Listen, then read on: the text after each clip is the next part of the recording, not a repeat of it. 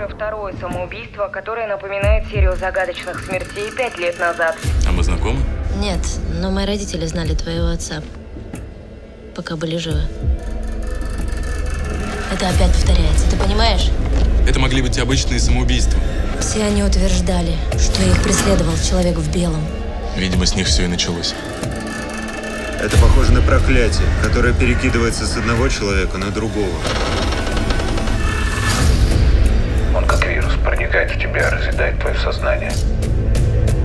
От него не спрятаться. Он найдет тебя везде и...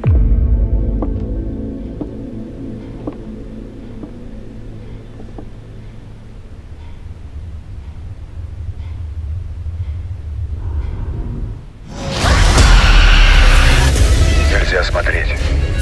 Первым увидишь мертвое тело, ты следующий.